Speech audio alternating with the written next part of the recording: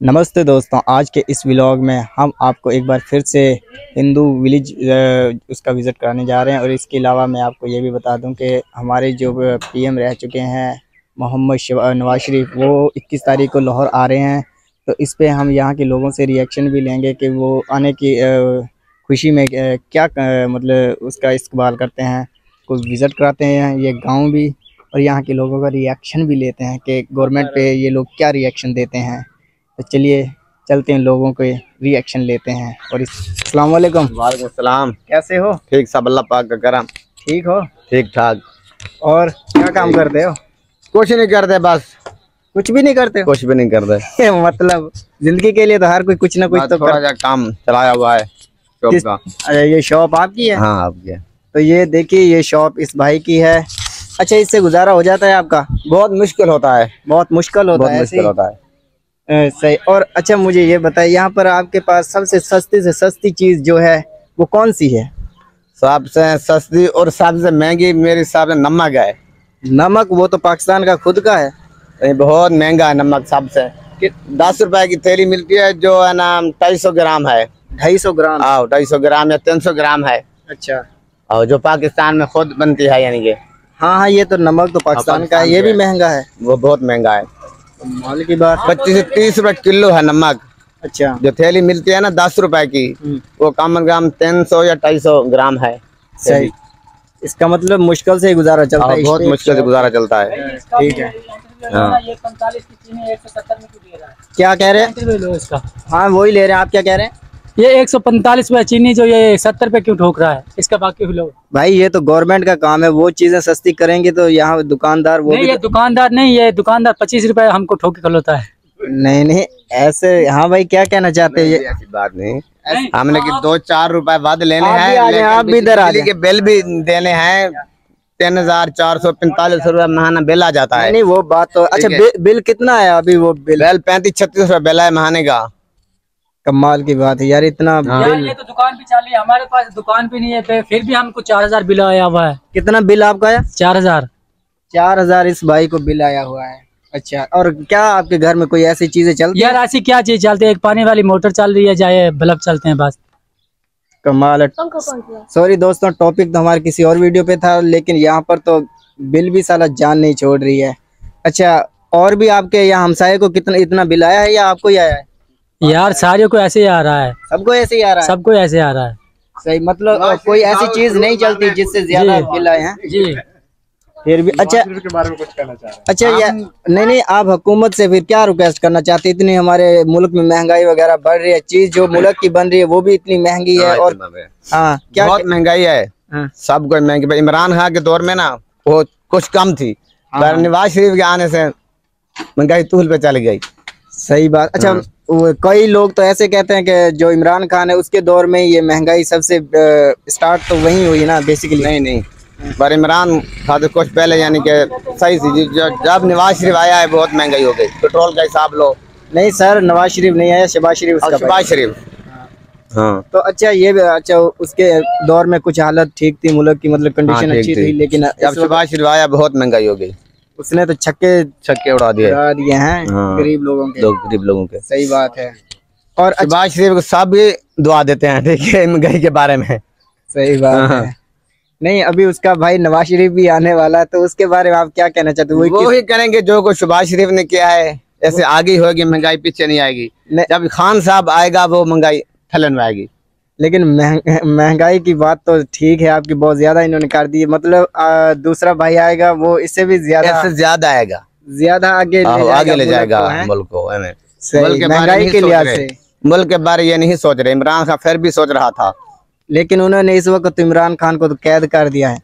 अल्लाह खैर करेगा इंसान भी कैद होते हैं छूट भी जाते हैं ऐसी बात नहीं छूट जाएगा। जो कुछ भी होगा इमरान खान छूट आएगा फिर इंशाल्लाह बनेगा इमरान खान। आप पाँच साल नहीं अगले पाँच साल बनेगा। उम्मीद है उम्मीद है इंशाल्लाह इमरान खान बनेगा। बनेगा और हाँ। आएगा एक बार। आएगा एक बार आएगा एक बार। मुल्क आएगा। लेकिन इस वक्त तो कंडीशन बहुत ज़्यादा खराब है। लोग हमें दूसरी कंट्री के जो ताने दे रहे हैं कि भाई इंडिया जो वो तो चाँद पे पहुँच रहा है और पाकिस्तान जो दिन ब दिन वो तरह से ये गल बाकी ठीक है। पाकिस्तान पीछे है। हाँ। हर चीज़ से पीछे है हाँ पाकिस्तान हाँ बिल्कुल। हाँ। वही तो मैं कह रहा हूँ अभी जो उसका भाई नवाज़ शरीफ है वो अब देखो वो लंदन से यहाँ आ रहा है लाहौर में हाँ। किस तारीख को हमारे यहाँ मुल्क में आ रहा है वो उसने आने से पहले कुछ ये बातें बयान की है कि महँगाई के लिहाज से भाई हमारा मुल्क सबसे आगे है और लोगों से भीख माँगता है और इसके अलावा मतलब काफ़ी लिहाज से पीछे हो। गया है और ये बता रहे हैं कि इंडिया चाँद पे पहुँच गया है। क्या करना चाहिए हुकूमत को और आवाम को तरक्की के लिए? जो कुछ करें सुभाष शरीफ साहब कर सकते हैं जो कुछ भी करें पर करते नहीं वो। हाँ वो तो करते नहीं वो ऐसा। वो खुद अपने लिए करते हैं और ये करते हैं बस जो कुछ आता है जा बाहर निकल जाते हैं। आ जाइए। अस्सलाम वालेकुम। वालेकुम सलाम। कैसे हो? ठीक अल्हम्दुलिल्लाह। आप क्या काम करते हो? मैं करता हूँ कराची में बैरेटोन में काम करता हूँ एसी फ्रीजर का। एसी फ्रीजर का? जी। कितनी की इनकम हो जाती मंथ की? हो जाती है पचास के करीब हो जाती है। फिर तो अच्छा आपका निज़ाम है। जी बस लूट रहे हैं जैसे हुक्मरान लूट रहे हैं दोनों हाथों से। वाह गुड बस कुलिया का यही इस्तेमाल किया है हुक्मरानों वाला। सही बात मतलब हकूम, हुकूमत वाला आपने भी आइडिया ये कहाँ से यार सीखने को बस ऐसे ही बचपन से जब किताबों से पढ़ा इमरान खान नवाज़ शरीफ ये सबको मिला मिला के हमने भी कुछ हाथ चलाना सीख लिया। सही बात अच्छा। अभी अभी तो हमारी मुल्क की बहुत ज़्यादा कंडीशन खराब है। मुल्क ने खुद खराब किया अगर दोनों हाथ चलाना सीख जाए तो ये कभी नहीं माड़ा होगा।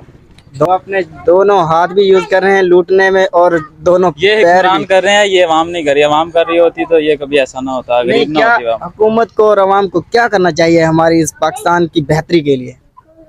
बस भाई तो क्या मैंने आपसे कुछ पूछा है? बस यही है कि जैसे हुक्मरान लूट रहे हैं ऐसे अवाम लूटना शुरू कर दे तो हम इंशाल्लाह चीन से ऊपर चले जाएँगे और चाँद के भी पास चले जाएँगे। चाँद के ऊपर ही चले जाएँगे। अच्छा मतलब पहुँच जाएँगे फिर बाद में। मतलब ड्रग हमने मुरीक का टारगेट करना है। करने चले जाएँगे। बिल्कुल अगर दोनों हाथ चलाना सीख जाए। अच्छा मतलब ये भी हुकूमत का मुकाबला करे तब भी पॉसिबल है कि मुल्क की बेहतरी हो सके। बिल्कुल ऐसे लेकिन कर तो ऐसे ही रहे हैं लोग मतलब अभी एक, एक भाई यहाँ पर आया था और उसने ये कहा कि अब दुकानदार जो है पीछे से सत्तर की लेता है तो हमें पचासी की देता है एक के जी तो बस उसकी भी मजबूरी है ना वो आस्ते आस्ते चलाना सीख रहा है हाथ कैसे चलाएँ फिर वो जो सत्तर की ले तो फिर वो सौ की देगा। वो जब वो जब नवाज़ शरीफ आ रहा है ना तो ऐसे ही होगा इंशाल्लाह एक सौ दस की होगी तो फिर तरक्की होगी मुल्क में हाँ मतलब वो अभी नवाज़ शरीफ भी आ रहा तो इससे क्या उम्मीद है कि आपको वो मुल्क की ये क्या क्या करेंगे? इनसे तो कोई उम्मीद भी नहीं है। कोई उम्मीद नहीं है। नहीं इनसे कोई उम्मीद अगर कोई बीवी बीवी दे दें तो फिर उम्मीद करेंगे। और तेरी सीधा ही टारगेट कर लिया इसने। हम नौजवानों के लिए तो बीवी ज़रूरी है ना बाकी तो अरेंज कर रहे हैं लेकिन बीवी अरेंज नहीं हो रही। नहीं भाई अभी तो पाकिस्तान में कह रहे ढूंढ के दें तो फिर इंशाल्लाह कुछ सोचेंगे वोटों का भी।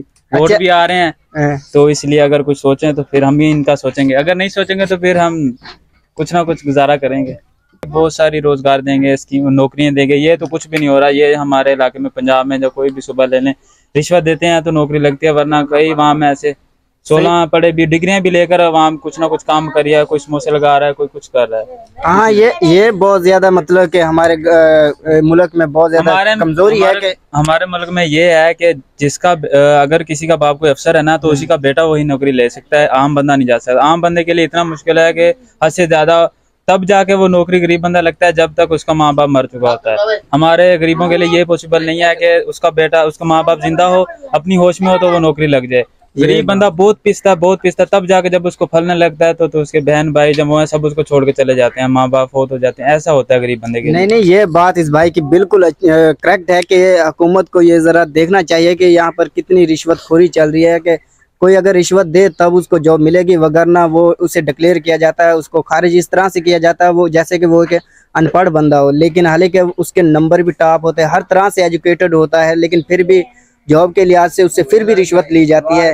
ये हमारी इस गवर्नमेंट को सोचना चाहिए कि एक इंसान जो कच्चे से पढ़ के मतलब के हाई लेवल पे जाता है कितना बजट वो कितना पैसा जो लगाता है पढ़ाई पे वो किस लिए लगाता है? इसलिए लगाता है कि उसकी आने वाली लाइफ जो है वो बेहतर हो। लेकिन बेहतर के लिए भी लोग अगर हमारी गवर्नमेंट रिश्वत ले यहाँ के लोग फिर कैसे तरक्की होगी? ये मतलब कि हमारे मुल्क का बेड़ा गर्क कर रही है। हमारे मुल्क ने बस यही रखा हुआ है कि जो अंग्रेज़ की तलीम है ना वही यहाँ पे लानी है ना हमारे नौजवानों को। जो पढ़े लिखे मम्मी डैडी इसलिए इसलिए कहा जाता है उन्हें काम का प्रैक्टिकल किसी चीज़ का पता नहीं होता। अगर ये प्रैक्टिकल करवाएँगे स्कूलों में जैसे जापान में है तमाम चीज़ें होती हैं ऐसी होंगी तो फिर हमारा मुल्क तरक्की करेगा। अगर हमें सिर्फ़ यही पढ़ाया जाएगा एक्स की दो माइनस बी की दो अगर बराबर होगा ये हमारे कहाँ काम आएगी? नहीं नहीं ये ये हमारे काम नहीं आने वाली ये रियाजी के फार्मूले हमारे काम नहीं आने वाले ना एबीसी आने वाली है काम। सिर्फ़ अगर ये जो दूसरे अदारे दो और अदारे भी खुले हैं। वहाँ पर दो महीनों में दो साल में इंग्लिश हर चीज़ कोर्स करवा देते हैं। तो ये बारह बारह चौदह सौ सोलह साल किस लिए लगवाते हैं?